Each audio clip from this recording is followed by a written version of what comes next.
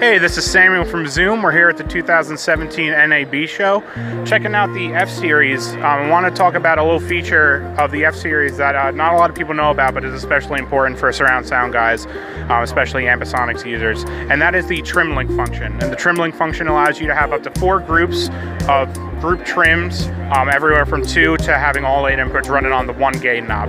So we'll look at the unit. If you go into your menu, go into the input menu, trim link, and now we see our four groups that we can select. So let's select inputs one through four to be on group A. And when we go back out, now we can see on our one,